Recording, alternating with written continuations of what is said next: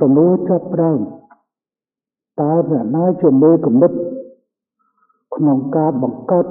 តំបន់អភិវឌ្ឍត្រីកោណកម្ពុជាឡាវនិងវៀតណាមតែគេនិយមហៅថា CLV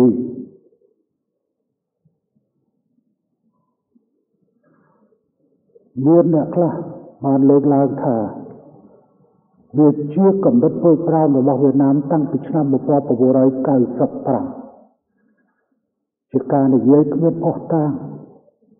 ជាការនិយាយដោយគ្មានការអៀនខ្មាស់ប្រសិនបើអ្នកក្រាន់បើអ្នកអាចធ្វើសម្បត្តិបើអ្នកមិនក្រាន់បើទេអ្នកមិនចាំបាច់ធ្វើទេ ជាពិសេសខ្ញុំចង់និយាយទៅដល់ជើងសុកតែម្ដងតែយកមិននេះខ្ញុំក៏បានមើលឃើញក្នុង YouTube ថាជាកំណត់ព្រួយប្រែមរបស់វៀតណាមពីឆ្នាំ1995ហើយមានការប្រជុំនៅវៀតណាមនៅឡាវនៅឆ្នាំ1995ប្រសិនបើជើងសុកអូនលោកអូន ហ៊ានទទួលយកដល់ការស្បត់ណាមួយបើទោះបីជាឲ្យស្លាប់ត្រឹមតែឆ្កែមួយក៏ចាត់ទុកថាប្អូនជាអ្នកក្លាហានប៉ុន្តែបើសិនជាប្អូនមិនហ៊ានធ្វើពាក្យសម្បត្តិទេគឺប្អូននឹងចោះចាញ់តែឯឯងកំណត់ព្រួយប្រាំតេតិនជាមួយនឹងបញ្ហាតំបន់អភិវឌ្ឍត្រៃកោណនេះ គឺខ្លួនខ្ញុំប្រកាសណាខ្ញុំជាអ្នករួចផ្ដើមកំណត់ហើយនៅក្នុងពេលទស្សនកិច្ចនៅឡើយខ្ញុំប្រកាសណាខ្ញុំក៏បានស្នើភាគីឡើយដើម្បីគ្រប់គ្រងដែលពេលនោះអាយដាមស៊ីសវត្តកៅបុផាត់ជាអតីតនាយករដ្ឋមន្ត្រីឥឡូវគាត់ ទទួលមរណភាពទៅហើយបានគ្រប់គ្រងនៅគំនិតនេះបន្ទាប់ទៅខ្ញុំប្រកាសណាខ្ញុំក៏ធ្វើដំណើរទៅកាន់វៀតណាមនៅក្នុងពិធីប្រជុំមួយខ្ញុំក៏បានស្នើចំពោះនាយករដ្ឋមន្ត្រីវៀតណាមដើម្បីឲ្យគ្រប់គ្រងនៅកំណត់ពុយប្រាប់នេះនាយករដ្ឋមន្ត្រីវៀតណាមពេលនោះ គឺឈ្មោះអេដាមផាំវ៉ាត់ខាយឥឡូវគាត់ក៏ទទួលមរណភាពទៅហើយដែរណាតែចូលរួមបង្កើតដំបូងនៅយន្តការតំបន់អភិវឌ្ឍត្រីកោណកម្ពុជាឡាវនៅវៀតណាមនេះគឺនៅសេសសល់តែខ្ញុំប្រកាសណាខ្ញុំតែប៉ុណ្ណោះដែលមានវ័យក្មេងជាងគេ កាលពីឆ្នាំ1999ខ្ញុំប្រកាសណាខ្ញុំទើបមានអាយុ47ឆ្នាំប៉ុណ្ណោះឥឡូវសួរថាហេតុអ្វីបានជាចាំបាច់បង្កើតឡើងនៅតំបន់អភិវឌ្ឍត្រីកោណនេះតើចាប់ផ្ដើមពីអ្វីយើងត្រូវសិក្សាមើល នៅក្នុងតំបន់របស់យើងគឺតំបន់ដែលយើងនៅភូមិភាគឦសានវៀតណាមមួយផ្នែកនិងឡាវមួយផ្នែកនៅជាប់ព្រំប្រទល់មុំ3នេះគឺជាតំបន់ដែលក្រីក្រជាងគេលំបាកជាងគេ ហើយបើសិនជាយើងនិយាយដាច់ដោយឡែកតែចំពោះកម្ពុជាវិញក្នុងទសវត្ស80រហូតមកដល់ឆ្លងកាត់សតវត្សហើយសហសវត្សពីសតវត្សទី20ឆ្លងចូលសតវត្សទី21កម្ពុជាជាពិសេស ខេត្តរតនគិរីនិងមណ្ឌលគិរីនៅខ្ចីផ្លូវរបស់វៀតណាមប្រើប្រាស់នៅឡើយទេយើងគិតមើលយើងទៅមានផ្លូវផ្លូវ76ដែលកើតពីដើមគឺជាផ្លូវដីគ្មានចក្រសូរទេมันអាចធ្វើដំណើរបានងាយស្រួលទេ បងប្អូននៅខេត្តមណ្ឌលគិរីមួយភាគជាមន្ត្រីឬពាណិជ្ជករត្រូវធ្វើដំណើរឆ្លងកាត់ប្រទេសវៀតណាមហើយបានចេញមកកម្ពុជាតាមស្វ័យរៀងឬតាមខេត្តកំពង់ចាមខេត្តរតនគិរីក៏ដូចគ្នាដែរគឺ ត្រូវធ្វើដំណើរមិនអាចធ្វើដំណើរចុះមកខេត្តសន្ត្រែកបានទេ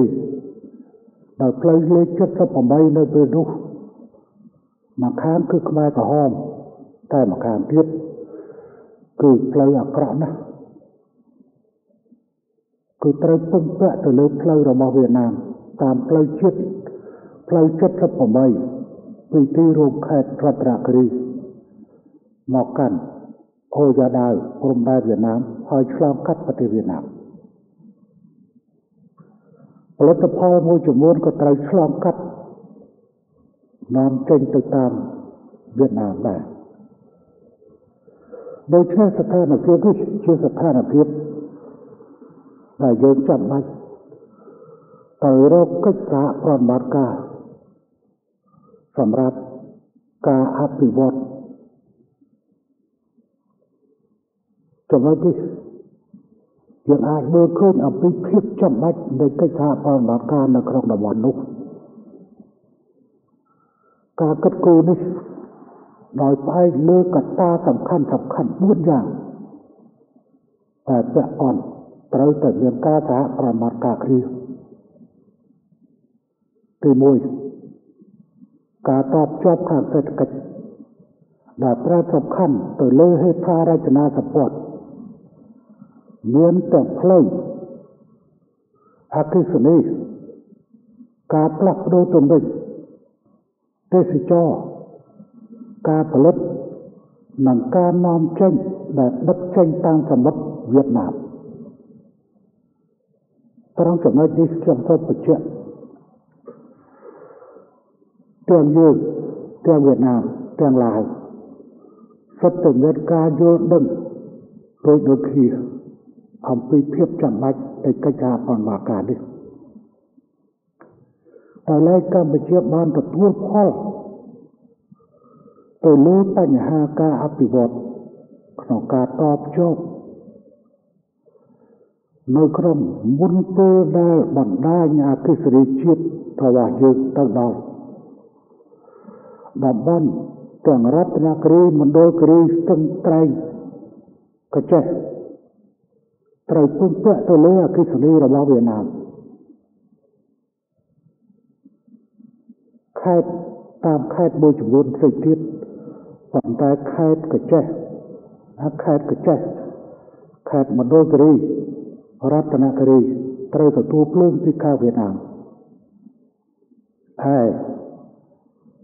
ខេត្តសឹងកែងទទួលអកិសនីពីឡាវនេះគ្រាន់តែជាឧទាហរណ៍មួយ ក្នុងចំណោមឧទាហរណ៍ជាច្រើនតែយើងត្រូវពឹងពាក់ជាមួយគ្នាជាមួយគ្នាវាបានផ្ដល់ផលប្រយោជន៍សម្រាប់កម្ពុជាយ៉ាងច្រើនមកប្រៀបធៀបជាមួយនឹងខាងវៀតណាមទទួលបាននៅផលប្រយោជន៍គឺកម្ពុជាជាអ្នកទទួលបានផលប្រយោជន៍ច្រើនជាងគ្នា តាមរយៈការគ្រប់គ្រងអកិសនីតាមរយៈការដឹកទំនិញទៅឆ្លងកាត់ទៅកាន់សមុទ្រនៅខាងវៀតណាមបើយើងប្រៀបធៀបការដឹកទំនិញចុះមកភាគក្រោមមកខាងអត់ផ្លូវតែមកខាងទៀតបើទោះបីមានផ្លូវល្អដូចបច្ចុប្បន្នបើយើងប្រៀបធៀបការដឹកជញ្ជូនមកកាន់កំពង់សោម ឬមកកាន់កំពង់ផែទលេបិទឬក៏កចេះក៏យើងឃើញថាគឺមានចំណាយឆ្ងាយជាងការដឹកជញ្ជូនតែយើងត្រូវសហប្រតិបត្តិការជាមួយវៀតណាមដើម្បីឆ្លងកាត់ទៅទីនោះសម្រាប់ផលិតនឹងការនាំចេញនាំចេញហើយ ក្រៅពីនោះនៅមានបញ្ហាដទៃទៀតការផ្លាស់ប្ដូរទំនិញនៅក្នុងតំបន់នោះបង្កើតនូវការភាពងាយស្រួលសម្រាប់ប្រជាពលរដ្ឋរបស់យើងទទួលបាននៅទំនិញនៅផលិតលក់នៅផលិតផលព្រោះនេះជាជំរឹះ ខាងសេដ្ឋកិច្ចដ៏ល្អសម្រាប់យើងទីពីរគឺគិតគូរទៅដល់បញ្ហាសន្តិសុខនិងការពិចិត្រយើងត្រូវឃើញថាតំបន់នេះជាតំបន់ងាយស្រួលនៅក្នុងផ្ដល់ឲ្យពួកអាក្រក់ សម្រាប់ការលះខ្លួនក្នុងការជាពិសេសការរត់ពន្ធមនុស្សរត់ពន្ធគ្រឿងញៀនការកាប់ឈើខុសច្បាប់រហូតដល់មានចលនាប្រដាប់អាវុធដូចជានៅវៀតណាមមានហ្វូរ៉ូនៅឡាវមានវ៉ាងប៉ាវក្នុងពេលដែលកម្ពុជានៅពេលនោះ ទើបនឹងបានទទួលនៅសន្តិភាពថ្មីថ្មោងក្នុងឆ្នាំ1999យើងទទួលនៅសន្តិភាពដែលយើងកំណត់ថាជាទិវាសន្តិភាពនៅថ្ងៃទី29ខែធ្នូឆ្នាំ1998កំណត់ធ្វើត្រាំដល់ខ្ញុំតកាណាខ្ញុំឆ្នានេះគឺជាកំណត់ពីដើមដើម្បីធ្វើចំណុចកុំឲ្យតំបន់ដែល ខាងយើងក៏ពិបាកលូកទៅដល់ខាងវៀតណាមក៏ពិបាកលូកទៅដល់ខាងឡាវក៏ពិបាកលូកទៅដល់คล้ายទៅជាតំបន់ជំរកលក្ខខ្លួននៃពួកខលខូឬពួកទុច្ចរិតដែលប្រព្រឹត្តការលួចផ្លាក់ឆ្លងកាត់គ្រូវិទ្យាកាប់ឈើខុសច្បាប់និង រហូតដល់ចលនាប្រវត្តិហើយរឿងនេះវាបានកើតពិតប្រកបយើងតែងប្រាប់ទៅខាងប្រទេសវៀតណាមថាសូមជួយសហការនិងកុំឲ្យខាងឈ្មោះវៀតណាមទិញឈើដែលកាប់ខុសច្បាប់ចេញពីទឹកដីកម្ពុជាឡាយក៏បានជួយទប់ស្កាត់ការកាប់ឈើ យកចេញពីខេត្តទឹកតែឆ្លងកាត់ប្រទេសឡាវទៅកាន់ប្រទេសថៃឡាវក៏បានជួយទប់ស្កាត់ជួយទប់ស្កាត់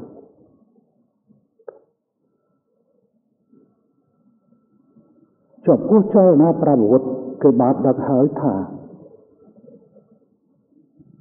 follow ដែលមានរដ្ឋាភិបាលនៃប្រទេសហៅថាដេកាហៅថាពួកពួក ដែលជាមេដឹកនាំកុកសដែលមានជនម្នាក់បានទៅចុះហត្ថលេខាបកគលខេត្តរួមហើយពួកគេនេះគឺមានចលនាប្រវត្តិរហូតដល់ប្រមាណខែមុននេះកន្លងទៅ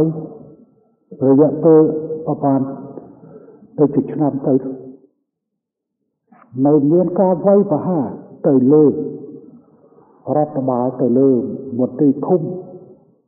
និងនគរបាលធ្វើឲ្យមនុស្សស្លាប់និងរបួសយ៉ាងច្រើនហើយគឺតែងរត់មកជ្រកកោននៅក្នុងទឹកដីរបស់យើងសូម្បីតែប្រហែលខែមុននេះក៏ក្រោយការវាយប្រហារនៅក្នុងទឹកដីវៀតណាមហើយពួកនេះបានរត់ឆ្លងចូលមកក្នុងទឹកដីរបស់យើងទឹកដីរបស់យើងក្នុងពេលនោះដែរ កាលពីឆ្នាំ1999ពួកវាងប៉ាវដែលជាចលនាប្រវត្តិប្រឆាំងនៅឡើយក៏នៅសេសសល់នៅឡើយចឹងយើងត្រូវតែមានការប្រុងប្រយ័ត្នទៅលើចំណុចអស់ទាំងនេះអស់ទាំងនេះចំណុចទី3យើងផ្ដល់នូវកិច្ចសហការលើវិស័យអប់រំ ការប្រដៅធនធានមនុស្សនិងវិស័យសុខាភិបាលចំណុចនេះជាចំណុចដែលយើងអាចសហការគ្នាបានតាមរយៈការបដិបដាធនធានមនុស្សក្នុងកម្រិតណាមួយជាបច្ចេកទេសដែលធ្វើនៅលើទឹកដីកម្ពុជាឬធ្វើនៅទឹកដីឡាវឬធ្វើនៅទឹកដីវៀតណាមដូចជានៅក្នុងកម្មវិធីការប្រំបាការនៅ ក្នុងផ្នែកតេតិននឹងការបដិបដាធនធានមនុស្សយើងមានការកសាងវិជាឋានសម្រាប់ការបដិបដាផ្នែកឧស្សាហកម្មនៅឯខេត្តស្ទឹងត្រែងសម្រាប់ការបដិបដា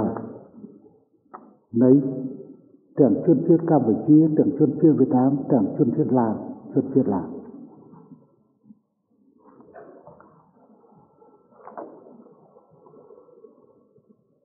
ខាងវិស័យសុខាភិបាល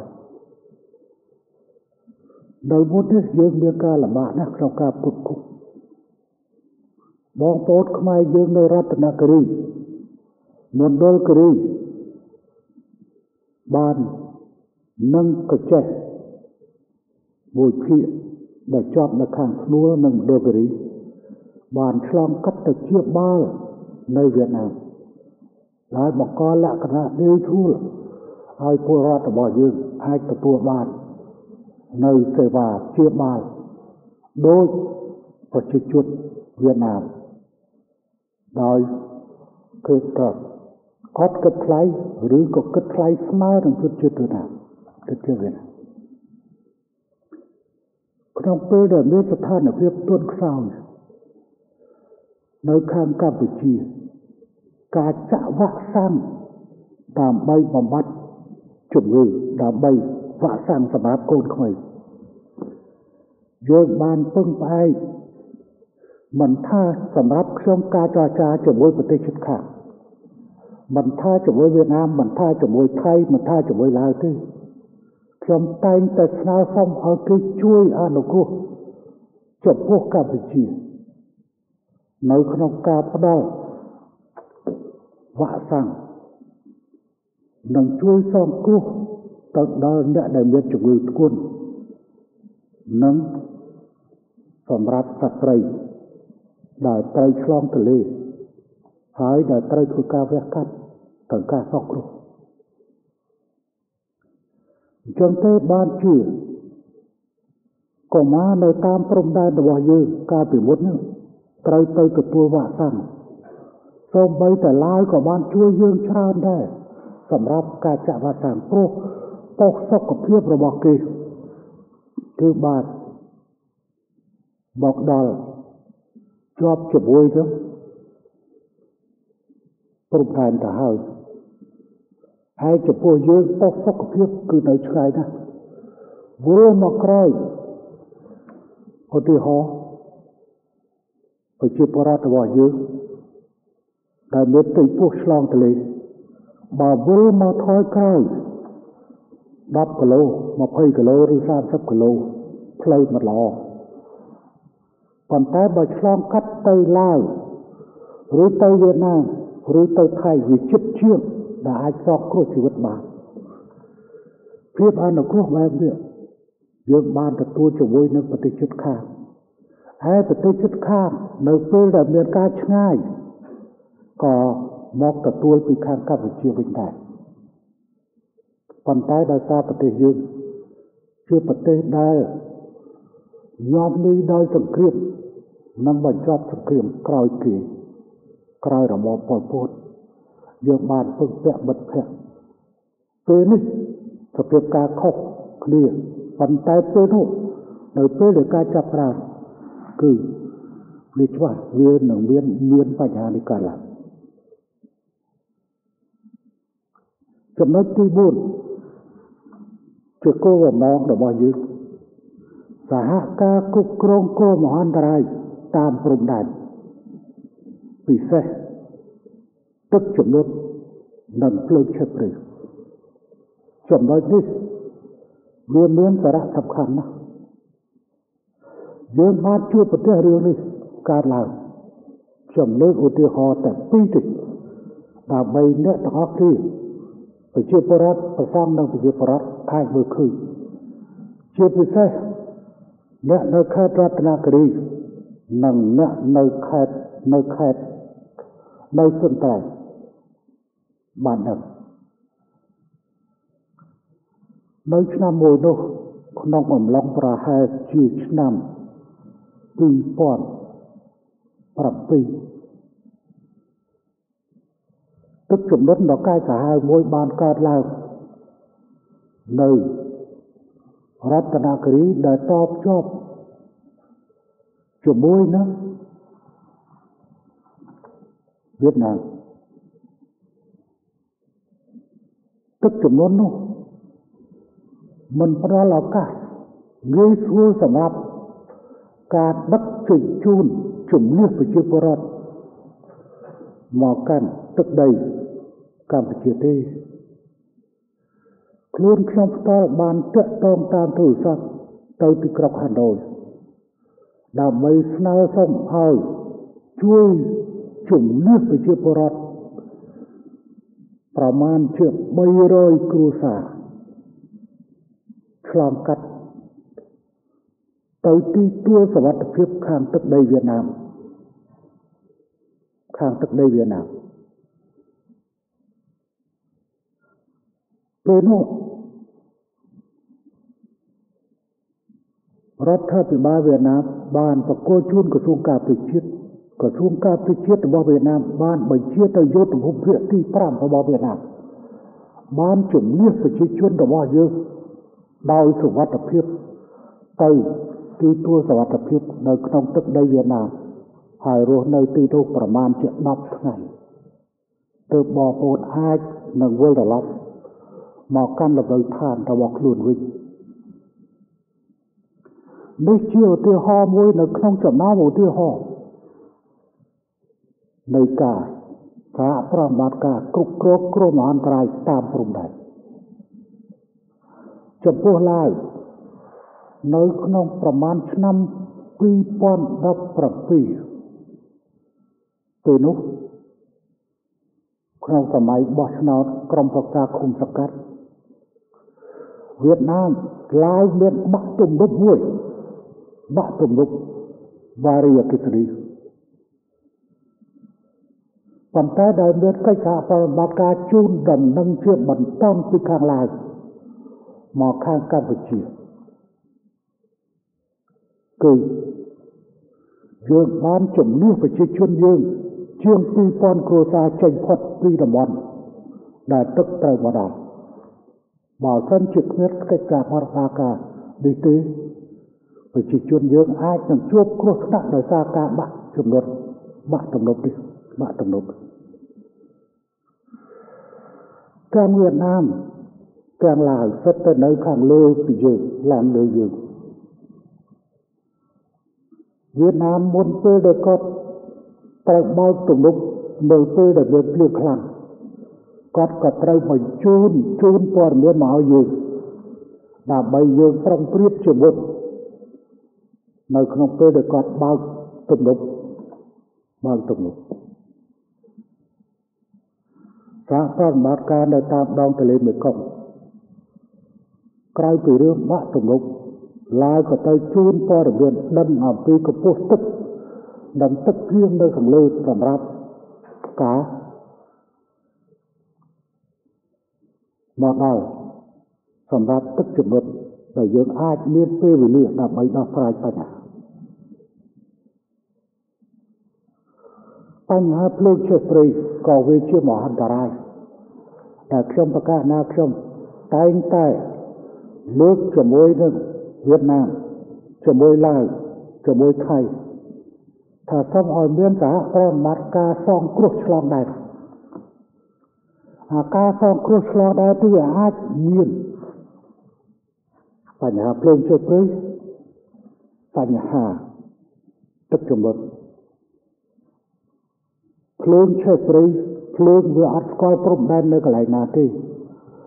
បើសិនជាភ្លើងឆេះព្រៃនៅតាមព្រំដែននៅខាងកម្ពុជាកម្ពុជាចេះតែដេញពលុត ដល់ទៅពេលចូលទៅក្នុងទឹកដីវៀតណាមបើយើងមិនអាចមានកិច្ចការប្រតិបត្តិការទេគឺគេចាត់ទុកថាយើងចូលទឹកដីគេខុសច្បាប់វៀតណាមក៏ដូចគ្នាមកចង់ដេញពលិតគឺចូលមកទឹកដីកម្ពុជាអាចចោទថាត្រូវបានធ្វើពៀនឬក៏ឡាយក៏ដូចគ្នាចឹងទេបានជាខ្ញុំស្នើឲ្យមានសមយុទ្ធ សំគ្រោះគ្រោះមហន្តរាយឆ្លងដែនតែយើងបានធ្វើជាមួយវៀតណាមឡាវហើយយើងក៏នឹងខិតខំធ្វើជាមួយថៃដើម្បីរកកិច្ចសហប្រតិបត្តិការជួយសង្គ្រោះប្រជាពលរដ្ឋដែលរស់នៅតាមព្រំដែនកុំឲ្យមានបញ្ហានេះជាចំណុចដែលខ្ញុំប្រកាសណាខ្ញុំបានលើកហើយក៏ត្រូវបានទទួលនៅការគ្រប់គ្រងពីសំណាក់ ភាគីវៀតណាមឡាវហើយដែលការប្រជុំដំបូងរបស់យើងធ្វើនៅប្រទេសឡាវនៅវៀងច័ន្ទការធ្វើនៅវៀងច័ន្ទនេះនៅឆ្នាំ1999ពេលនោះអាដាមស៊ីសវត្តកែវផាត់ គឺជាអធិបតីនៃអង្គប្រជុំខ្ញុំប្រកាសណាខ្ញុំតំណាងឲ្យកម្ពុជាអាដាមផាត់វត្តខាយតំណាងឲ្យវៀតណាមដើម្បីចូលរួមការប្រជុំអាប៉េទីនមានប្រសិទ្ធភាពជួយជំរុញឲ្យកុមារញ៉ាំបាយបានអាប៉េទីនវីតាមីន A ជួយឲ្យកុមារឡើងទម្ងន់លូតកម្ពស់និងមានសុខភាពល្អតែសមបំផុតសម្រាប់អ្នកមានជំងឺមិនឃ្លានអាហារឬមិនចង់បរិភោគអាហារកុមារលូតលាស់យឺតឬកុមារចុះស្គម